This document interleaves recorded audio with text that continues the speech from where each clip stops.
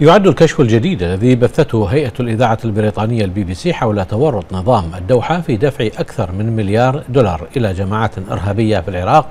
يعد دليلا آخر يضاف إلى سيل من الأدلة التي تدين النظام القطري بدعم الإرهاب وتمويل الميليشيات والجماعات المتطرفة في المنطقة. وتعد هذه الحادثة أكبر فدية عرفها التاريخ.